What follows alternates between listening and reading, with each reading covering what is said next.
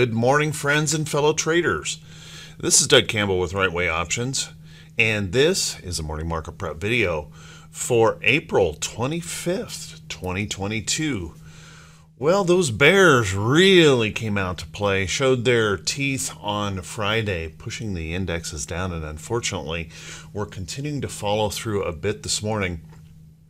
Although the futures are trying to bounce just slightly off of overnight lows. So, what does that mean for today? Well, how about we settle in? Let's buckle up. Let's get ready for the Monday edition of the Morning Market Prep video.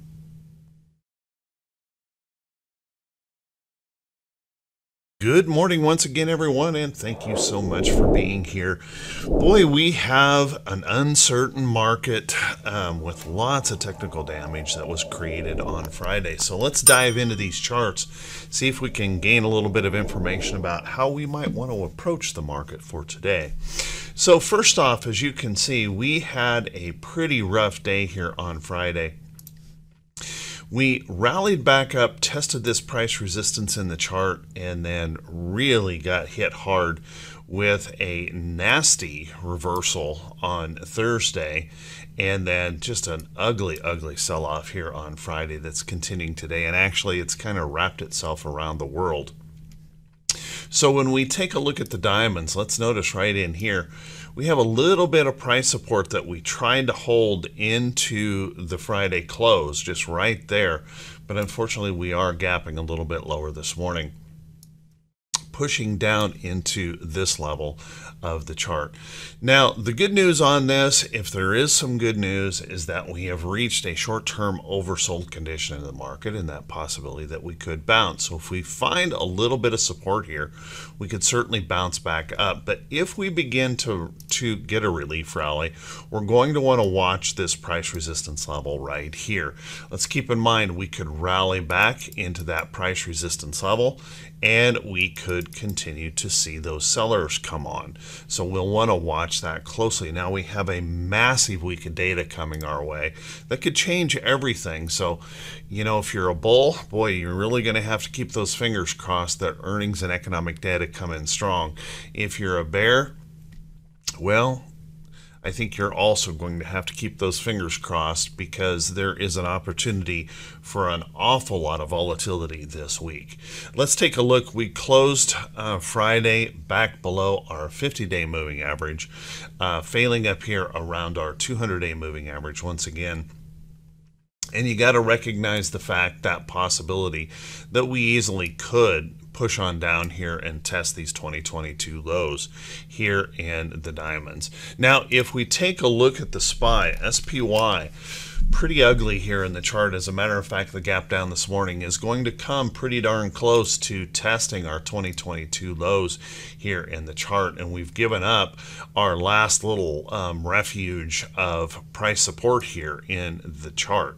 So obviously pretty ugly. We have a follow through to the downside from a lower low to a lower high. And if we do get a relief rally, then we're going to want to start watching some of these resistance levels in the chart. Notice we created a little bit of resistance right in there. We're going to have resistance right up in here in that chart. And then, of course, the downtrend. So if we do catch that bounce back or a relief rally, and I do think there is a relief rally on the way, um, then we have that opportunity that we could run into those these resistance levels and continue to see some selling if we can push on through with a relief rally and start breaking some of these resistance levels, just keep that big downtrend area in mind and realize we could just follow that downtrend on down here in the market if we start getting some earnings reports or economic data that supports the bears. So watch that close. Now, if those bears continue to push and if they continue to to show that aggression, then that possibility, guys, that we could push right down in here and test these 2022 lows doesn't look out of the question. As a matter of fact, it's easily possible that that could occur today. So watch that close. Failure of there would be a major problem for us. If we take a look at our QQQ, QQQ is suffering an awful lot here. Um, we um, officially made lower lows, uh, followed by um, after making um, higher lows in the chart, and we are right down here testing the 2022 lows this morning on the gap down. So if we start rallying back, we've got a pretty substantial move that uh, could occur uh, for us to rally back up and catch up to this downtrend um, and resistance levels in the chart. So we've got a lot of work here to do. And unfortunately, our bonds continue to put pressure here. And then, of course, um, our Fed, you know, um, next month will be um, probably aggressively raising interest rates, causing more problems here for us in the market. Lots of uncertainty. Let's just say that. Lots of uncertainty. So if those bears continue to push here this morning, we're going to want to watch this level because if they break that level like right there, we're going to have maybe some panic setting into the market. If they can hold in here and start to rally back, we've got all that work to come back up and test. And you'll want to notice here that we're well below our 50-day moving average. As a matter of fact, we're testing a 500-day moving average in the chart. So just kind of keep that in mind. We've got a lot of work here before those bulls start really um, showing their defense. And then if we take a look at the Russell, Russell also following through to the downside, and as I had been suggesting, I just really didn't have a whole lot of confidence that the um, Russell would be able to just break right through there without something significant and change in the market. And we're back down here testing the 2022 lows. So we'll want to watch that closely because if the bears push on through that low, I want you to take a look right in here how big a hole there is underneath here. If we fall into this area, I think there really is a possibility here where we are falling pretty significantly here in the Russell. So um, maybe a little bit of extra right in here, um, right around the 160 area in, in um, that chart but unfortunately, um, there's an awful lot of pressure here in the market, so we'll want to watch that carefully. And then, of course, we broke um, broke our 50-day moving average and slid right through our 500-day moving average here in the chart. So. You know, we're overdue for some kind of a relief rally because of the extreme move here, and I'll show you that in T2122 here in just a second.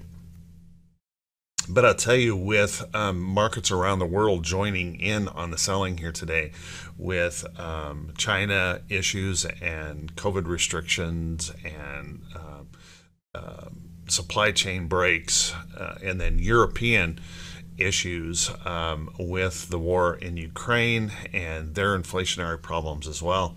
They've all kind of joined in on the selling, and so it's starting to look a little bit ugly here in the markets. So watch that closely. If we don't bounce off of those supports, it could get brutal today, um, even today. Then let's take a look at our um, our VIX. Now our VIX, whoops our VIX um, shot up pretty strongly, selling into the close on Friday. Obviously, that's a pretty ugly condition, and as I've suggested, that we're kind of bouncing between these levels around the 20 handle, and we shot right above the 25 handle here at the end of the day on Friday. So certainly volatility is high, and we have so much data coming our way. I would expect that volatility to remain very high and extremely challenging in this week ahead. So watch that carefully. If we continue to spike up in here on fear, um, it, it, could get pretty ugly. Now, if we can rest and pull back, if we hold this higher low in here, we could really start running into some serious problems here in the VIX if that were to be the case. If we can break this back down and get back underneath that 25 area, that would help us an awful lot here in the market. Can't say what's going to be the case, just that we're going to have to be really on our toes and expect quite a little bit of volatility in price action. Then, if we take a look at our T2122, this is our best hope here um, that we have reached an oversold condition. And the gap down this morning that we're likely to experience here in the market will push us, you know, pretty close to the bottom here in that uh, T2122 indicator. So that gives us probably our best hope of a relief rally to begin, at least a little bit of bounce coming into the market. So we'll want to watch that carefully. If we do get that opportunity to bounce, notice we've opened up a significant opportunity to the upside. But I want to remind everyone that just because we're down here doesn't necessarily mean if the hits keep coming um, in the market that we could not continue to sink and actually sink right through those 2022 lows. So you'll want to watch that carefully don't get the impression that this means that a bounce has to happen and it has to happen today. The, the likelihood that a bounce is coming is growing, but that doesn't necessarily mean it is a huge bounce back up. Remember, we've got lots of resistance levels above. So don't don't try to anticipate a bounce um, is what i'm suggesting here because there is just so much data coming our way it's hard to know what's going to happen next. Let's take a look at our t2108 now our t2108 really disappointed here. We were kind of trying to hold um, in that chart hold on, but unfortunately we did sink back pretty hard. 38% of our stocks holding above their 40-day moving average. That's a massive change in a day. And as you can see, continuing in this downtrend. So we've got a little bit of hope here that we might hold on to this little price support and catch a little bounce. But if that does sink on through there, then we still have additional problems to deal with. And then our T2107, very much the same situation, pushing down by the close of the day back down through that little price support right in there and continuing to follow the downtrend. Only 33% of our stocks holding above our 200 day. So we are certainly bearish in the market, and that continues. Now, if we take a look at our T2101, interesting enough, T2101 barely registered anything. And what continues to amaze me is that we're getting these giant moves in the market. And look at the volume here. The volume was pathetic.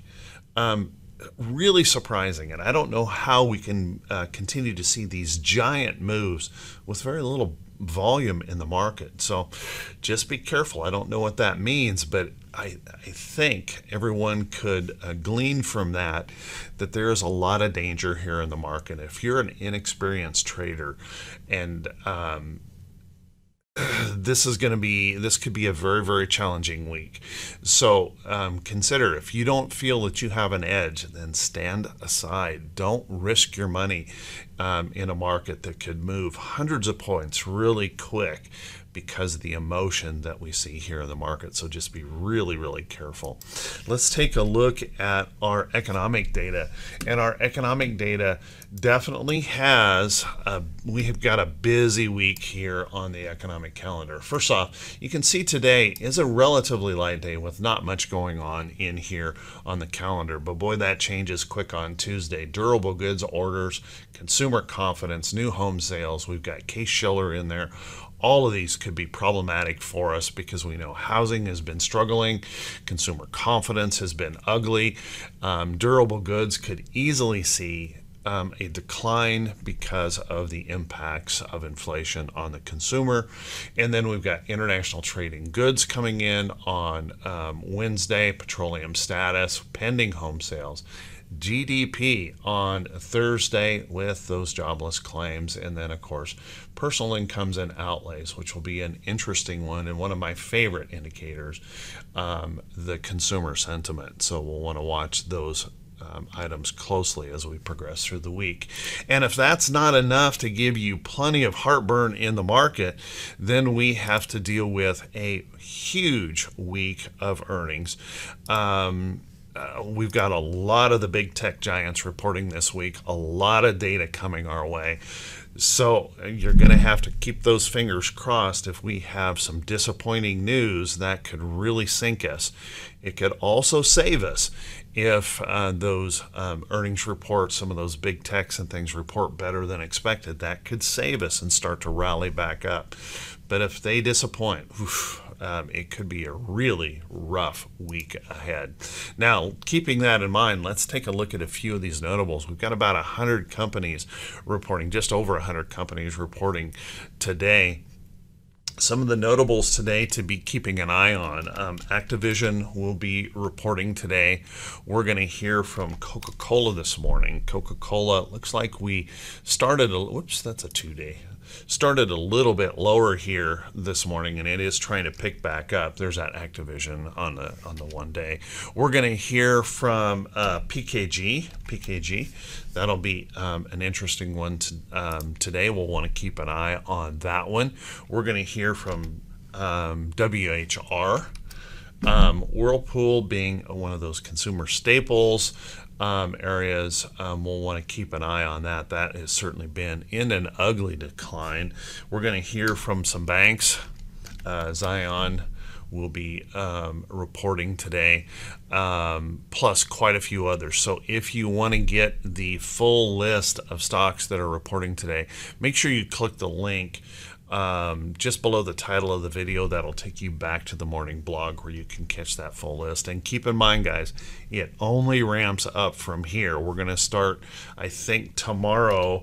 Uh, we've got um, Microsoft coming in, and we're going to start hearing from Google and Apple and just a slew of these uh, market moving reports. So we'll want to keep a close eye on those.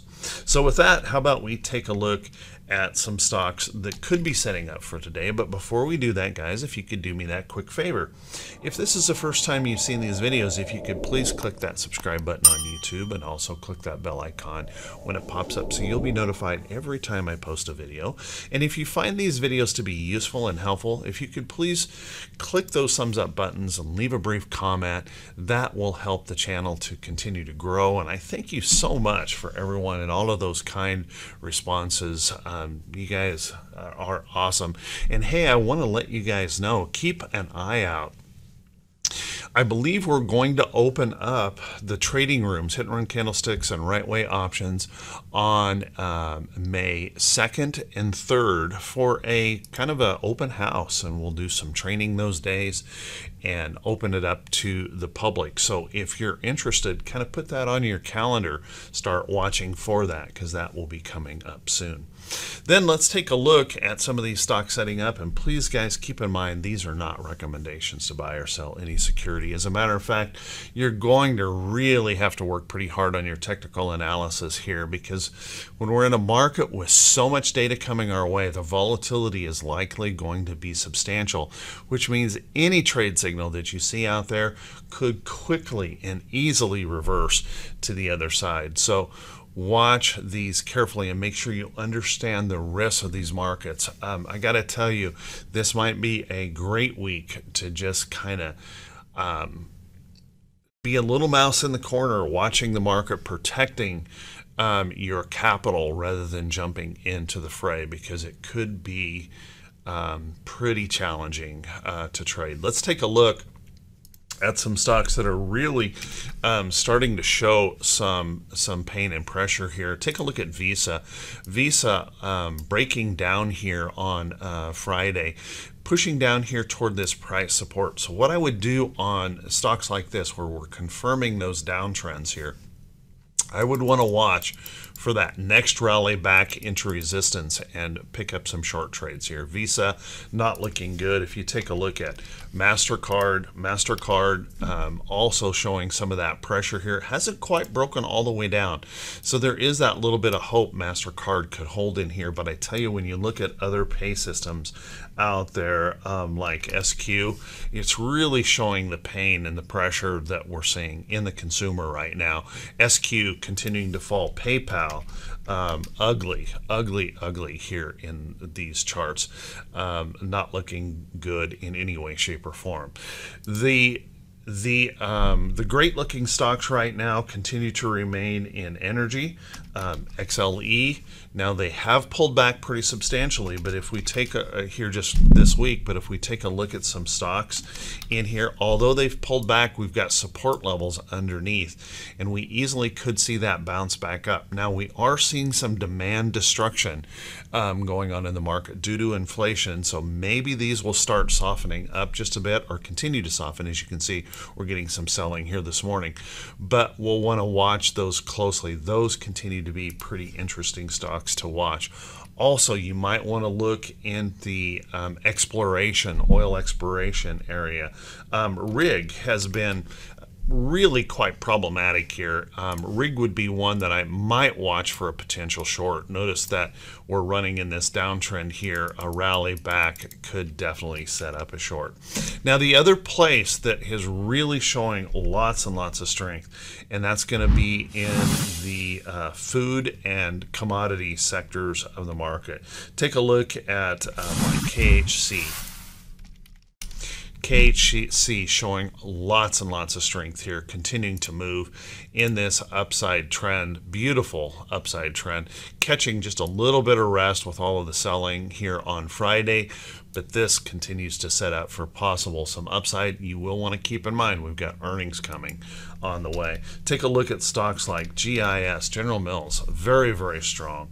Um, HSY, Hershey, has been very strong, getting a little bit of resting pullback in here with this market, but watch for that next opportunity to the upside. How about Kellogg's? Boy, they don't get much more boring than Kellogg's. Uh, pulling back to a little bit of price support may set up for an opportunity.